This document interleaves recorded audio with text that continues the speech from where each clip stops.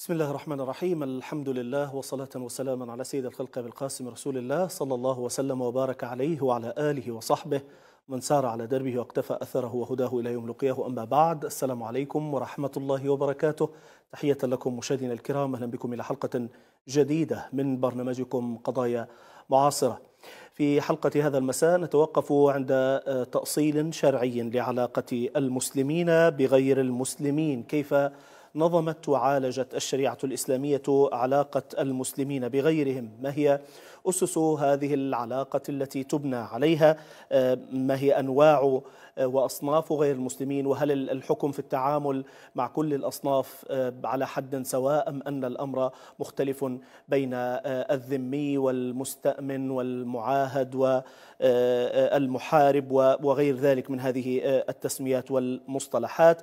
هل التعامل في حالة السلم والحرب هو ذاته؟ ماذا عن بعض النماذج المعاصرة من تعاملات نراها في واقعنا المعاصر بين أنظمة لدول إسلامية وبين غير المسلمين وبين أعداء المسلمين بين مزدوجين. سنفصل في هذا الموضوع من خلال سعادتنا باستضافة فضيلة شيخنا الدكتور العلامة محمد الحسن ولد الددو رئيس مركز تكوين العلماء. نسعد به ضيفا عزيزا في هذا المساء. فضيلة شيخنا السلام عليكم.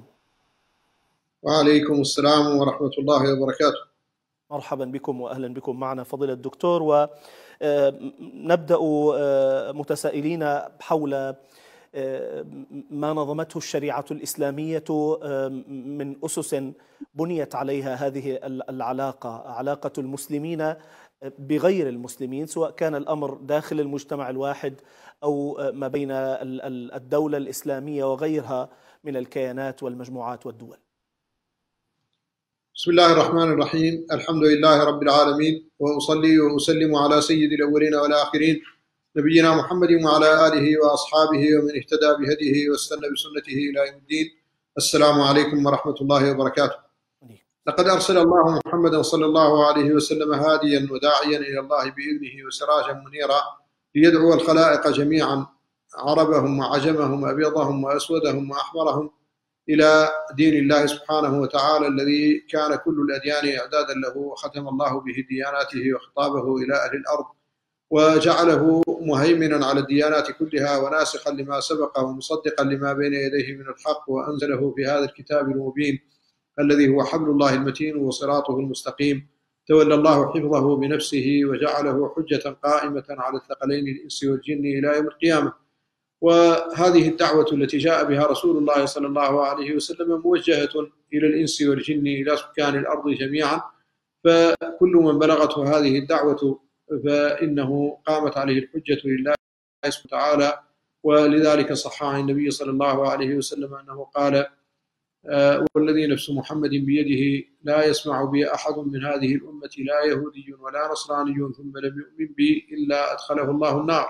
وقد قال الله تعالى من يبتغي غير الإسلام دينا فلن يقبل منه وهو في الآخرة من الخاسرين.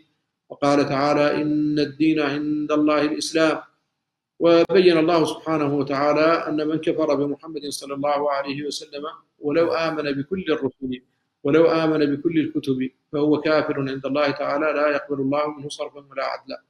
فلذلك الدين منذ بعث الله محمدا صلى الله عليه وسلم عند الله واحد ولا يقبل تعدده عند الله ولا ينجي صاحبه من النار إلا إذا آمن بهذا النبي الكريم واتبع ما جاء به من عند الله عقيدة وشريعة. وهذا الدين الخاتم المهيمن على كل الديانات جعل الله رحمة للعالمين وأرسل النبي صلى الله عليه وسلم رحمة للعالمين وقال وما أرسلناك إلا رحمة للعالمين وقال كنتم خير أمة أخرجت للناس وقد صح في صحيح مسلم من حديث إياض بن حمار المجاشعي رضي الله عنه أن النبي صلى الله عليه وسلم قال وإن الله نظر إلى أهل الأرض فمقتهم عربهم وعجمهم غير بقايا من أهل الكتاب وقال إنما بعثتك لأبتليك وأبتلي بك. فقد بعثه الله رحمة للعباد ورحم الله به بعد أن نظر إليهم بعين غضبه وسخطه غير بقايا من أهل الكتاب. نظر إليهم بعين رحمته فأرسل إليهم هذا الرسول هاديا إلى ملته المرضية عنده. ثم بعد ذلك آه، لا بد أن ندرك أن لدينا في هذا الدين عقيدة وشريعة. فعقيدته آه، مقتضية للإيمان بالله ورسوله وكتبه ورسله وملائكته واليوم الآخر والقدر خيره وشره. وأساس هذه العقيدة مندرج في شهادة أن لا إله إلا الله وشهادة أن محمدا رسول الله. فلا يمكن أن يكون إنسان مؤمنا إلا بجمع هاتين الشهادتين فإذا شهد أن لا إله إلا الله ولم يشهد أن محمدا رسول الله فلا إيمان له ولا ينفعه آه، عقيدة لا تنفعه عقيدته ولا تقبل منه أعماله ولا يدخل الجنة بذلك. أما في الشريعة فإن الله سبحانه وتعالى شرع للعباد أحكاما ونظما وشرع لهم أخلاقا وقيما وشرع لهم آه، ما يعاملون به ربهم من العبادات وما يتعاملون به فيما بينهم من المعاملات. وهذا آه، من رحمته سبحانه وتعالى ولطفه حتى لو كان الإنسان كافرا من الناحية العقدية فإن له معاملة آه، من الناحية الشرعية بحسب وضعه وحاله. ولذلك فالكفار بعد بعثة محمد صلى الله عليه وسلم هم كل من لم يؤمن به صلى الله عليه وسلم ولم يصدقه. ولا يهمنا هل كان متشبثا بديانة سماوية أو بديانة أرضية أو لم يكن متشبثا بديانة أو كان ملحدا لا يرى الدين ضروريا في حياة الناس. فكل أولئك آه، سواء ففي الحديث كان آه، أهل الكتاب من اليهود والنصارى يظنون أن لهم شفوفا على المشركين حتى نزلت سورة البينة. وفيها يقول الله تعالى إن الذين كفروا من أهل الكتاب والمشركين في نار جهنم خالدين فيها أولئك هم شر البرية. فقال أبو بكر الصديق استوت أكتافهم رب الكعبة. فلا فرق بين الكافر بالنبي صلى الله عليه وسلم من المشركين واللادينيين وبين الكافر به من أهل الكتب السماوية ومن أصحاب الديانات التي أصلها منزل من السماء. فكلهم كفروا بمحمد صلى الله عليه وسلم وكفرهم كفر بالله سبحانه وتعالى وبكل رسله فتكذيب رسول واحد هو تكذيب لكل الرسل كما قال الله تعالى كذبت قوم نوح المرسلين وقال تعالى كذبت عاد المرسلين وقال تعالى كذبت ثمود المرسلين. فكل من كذب نبيا واحدا فقد كذب المرسلين جميعا. وعلى هذا فالناحية العقدية مقتضية أنه لا فرق بينهم. جميعا كفار وهم في الآخرة سواء. فقط التفريق بين من كان يظهر الإسلام ويبطن الكفر وهم المنافقون. فإنهم في الآخرة شر من الكفار الذين أظهروا الكفر وهم تحتهم مستوى في الآخرة. كما قال الله تعالى إن المنافقين في الدرك الأسفل من النار ولن تجد لهم نصيرا. أما في الحياة الدنيا فالتعامل مختلف. فالمنافقون في الدنيا إذا لم يظهروا كفرهم ولم يطلع عليه إلا آه، بما لا يمكن إثباته لدى القاضي فإنهم يعاملون معاملة المسلمين. آه، ينكحون وينكح منه إليهم ويورثون ويورث منهم وهكذا وتعصم دماؤهم وأموالهم وأعراضهم إلا بحق وكذلك آه، غير الناطقين بالإسلام من الديانات الأخرى إذا كانوا من رعايا الدولة الإسلامية ودخلوا تحت حكم الإسلام وأذعنوا لحكمه وامتنعوا من الدخول في دينه فإنهم يقرون على دياناتهم أيا كانت تلك الديانات ويكونون من رعايا الدولة ومن مواطنيها فتجب حمايتهم ورعايتهم على الدولة وتوفير كل ما يحتاجون إليه من عيش كريم ومن تعليم ومن آه، دعوة ومن إرشاد ومن إصلاح ومن حماية واستقرار ومن توظيف وغير ذلك. مما آه، يستحقه مواطن الدولة جميعا. آه، فالمواطنون آه، من النصارى أو من ال- المشركين أو من المجوس أو من ال- اللادينيين أو من البوذيين أو غيرهم إذا كانوا من رعايا الدولة الإسلامية وأقروا بقانونها ولم يخالفوه ولكنهم لم يقبلوا الدخول في هذا الدين فإنهم يقرون على ديانتهم المحرفة المبدلة.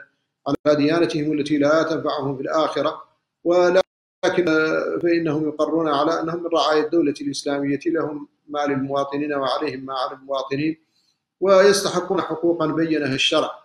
فقد صح عن النبي صلى الله عليه وسلم أنه قال الجار المؤمن له حقان والجار الكافر له حق. وكذلك آه، يعاد آه، هم ويتصدق على فقرائهم وفي كل ذي كبد حراء أجر وفي كل ذي كبد رطبة أجر. ويمكن الوصية لهم وتعالج الدولة مرضاهم وتعلمهم وتقوم على فقرائهم ويربى أيتامهم وتحرس تجارهم ومزارعهم ومصالحهم وترعى وتقوم الدولة على حماية ذلك كله وهؤلاء هم من رعايا الدولة ويشملهم آه، اسم المواطنين وهم آه، ينعمون بخيرات الدولة في الدنيا ولكنهم لا ينفعهم آه، شيء من دينهم في الآخرة. نعم. أما القسم الثاني فهم المعاهدون الذين بينهم وبين المسلمين عهد آه، لا يحاربوننا ولا نحاربهم. وهؤلاء لهم حق ما اشتمل عليه الصلح معهم. فإن تضمن العقد دخولهم إلى بلاد الإسلام وبيع تجاراتهم كان لهم ذلك ولا يحل التعرض لهم بسوء. وقد صح في صحيح البخاري أن النبي صلى الله عليه وسلم قال من قتل معاهدا لم يرح رائحة الجنة. ولهم الحماية والرعاية التي تضمنها العقد. وهذا العقد سواء كانت الدولة عقدته أو عقده أي مواطن من رعاياها. آه، فإنه ماض والمسلمون يقوم بذمتهم أدناهم. ولو أن آه، مواطنا من مواطني الدولة من غير المسلمين آه، أعطى العهد لكافر من غير رعاية الدولة وظن أنه من المسلمين فقبل منه العهد. ودخل ذلك العهد فإنه لا يحل التعرض له لأنه دخل على أمان. وكذلك لو أن آه، أحد رعايا الدولة الإسلامية من المسلمين مثلا كلم بكلام لا يفهمه فظن الكافر أنه يؤمنه ويعطيه الأمان فقد انعقد له عقد الأمان ولا يحل التعرض له. والقسم الثالث وهم الكفار المحاربون الذين يحاربون المسلمين ليسوا من رعايا الدولة ولا بيننا وبينهم عهد وهؤلاء آه، يسمون بالكفار الحربيين ويسمون ب آه، يدخلون في أمة الدعوة لأن النبي صلى الله عليه وسلم مبعوث إليهم. ويجب تبليغ الرسالة إليهم فإن استجابوا لها أو لم يناكفوا ولم يقاتلوا المسلمين ولم يمنعوا أحدا من الدخول فيه ولم يفتنوا أحدا فالأصل في العلاقة معهم السلم وعدم الحرب وعدم التعرض لهم لأن الله قال لا ينهاكم الله عن الذين لم يقاتلوكم في الدين ولم يخرجوكم من دياركم أن تبروهم وتقسطوا إليهم إن الله المقسطين وأما الذين حاربوا المسلمين وفتنوا الناس عن دينهم ومنعوا من أراد الدخول في الإسلام آه، من أنظمة الكفار والمستبدين من حكامهم. فأولئك إذا وقفوا في وجه هذه هذا الدين وفتنوا أهله واعتدوا عليهم فيجب رد ويجب قتالهم. وهذا الذي شرع له الجهاد في سبيل الله وقد قال الله تعالى قاتلوا الذين لا يؤمنون بالله ولا باليوم الآخر ولا يحرمون ما حرم الله ورسوله ولا يدينون دين الحق من الذين أوتوا الكتاب حتى يعطوا الجزية عن يد وهم صاغرون. وقال تعالى فإن قاتلوكم فاقتلوهم كذلك جزاء الكافرين فإن انتهوا فإن الله غفور رحيم. قاتلوهم حتى لا تكون فتنة ويكون الدين لله. فإن انتهوا فلا عدوان إلا على الظالمين. وإذا اعتدوا على المسلمين فأسروا أو قتلوا أو احتلوا أرضا من أراضي المسلمين أيا كانت ولو كانت شهدا وجب على المسلمين قتالهم وجهادهم. وهذا حكم محكم ماض مستمر إلى قيام الساعة. لا ينقضه جور جائر ولا عدل عادل. وحينئذ يقاتلون لتحرير الأرض وتحرير الأسرى ولانتزاع ما أخذوا من أملاك المسلمين. وهذا الذي فعله رسول الله صلى الله عليه وسلم حين قاتلته العرب. قاتل من قاتله وخلص منهم من لديهم من الأسرى وما أخذوا من أموال المسلمين وأخذ منهم الغنائم فوزعها بين الذين أخذت أموالهم وأخرجوا من ديارهم بغير حق إلا أن يقولوا ربنا الله. وقام بالقسط والعدل إليهم ودعاهم إلى الإسلام ومن أسلم منهم كان له ما لنا وعليه ما علينا ومن امتنع عن ذلك فإنه إذا قتل فهو عندما تضع الحرب أوزارها إما أن يكون اسيرا لدى المسلمين فحينئذ إما الفداء وإما المن. فالفداء أن يطلب منه الفداء بمال أو بمفاداته بأسير آخر أو بأسرى آخرين. أو المن أن يمن عليه المسلمون وأن يطلقوا سراحه لأنهم لم يعودوا يخافون من بأسه. والجهاد إنما شرع لقطع بأسه ورفع وإذا أمن بالكلية فإن ذلك مقتض ل أن يكون الحكم دائرا مع عدته. وبهذا يعلم أن الكفار في المجال الاخروي على أربعة أقسام لأنه يدخل في نطاقهم المنافقون. نعم. وفي المجال الدنيوي على ثلاثة أقسام. من هم من رعايا الدولة وهم الاسم الأول. ومنهم معاهدون ومنهم والمحاربون.